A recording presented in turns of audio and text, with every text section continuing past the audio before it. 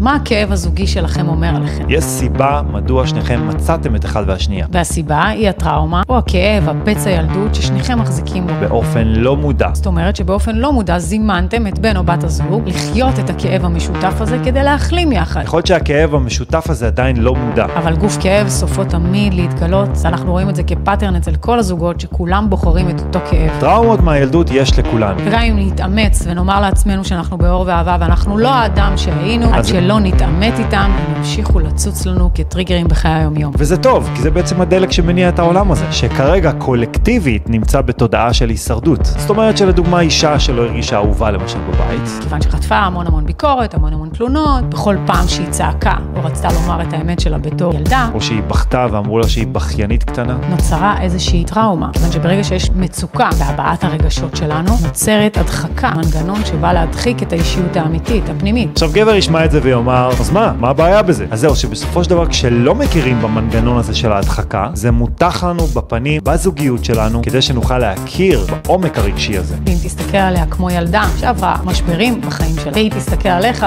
כילד שעבר המון דברים מבלי היכולת והכלים להתמודד, המציאות הזוגית שלכם תתחיל להשתקף בצורה הרמונית הרבה יותר. כל זה בשביל שאתם תוכלו לאהוב מחדש. כל זה שתוכלו להבין מאיזה בתים הגעתם, אז זה הזמן לשאול, מאיזה בתים בעצם הגעתם? מה היה החוסר המשותף לשניכם. לנור ולי למשל, היה כאב משותף שאנחנו בחרנו ליצור אותו. זה לא ההורים, זה אנחנו יצרנו אותו. זה הקול שלא שמעו אותו אף פעם, שבעקבותיו הדימוי העצמי שלנו הפך להיות מאוד נמוך, עד שיצר סוג של טראומה, הדחקה שגרמה לי לגמגם, ולרוני להיות מאוד אגרסיבי ואימפולסיבי. וזה בעצם דחק אותנו לייצר תוכן בארטילריה. זאת אומרת, תראו אותנו, תשמעו אותנו, יש לנו דברי חוכמה, אנחנו כבר לא הילדים הקטנים שהיינו פעם. אז הכאב המשותף הזה גרם לנו לשתף פעולה באופן לא מודע, עם אנרגיה מאוד עוצמתית שלא נגמרת. לייצר תוכן כדי לעזור בשכבה הראשונה, מתוך המשבר שהיה לנו בזוגיות, אבל עמוק עמוק בפנים רצינו להשמיע את הקול שלנו, את הקול האבוד שחשבנו בתור ילדים קטנים שאף אחד לא רוצה לשמוע אותו. כיוון שהביקורת שהושמעה, בכל פעם שבאמת הבנו את עצמנו, הייתה שלא רוצים לשמוע אותנו.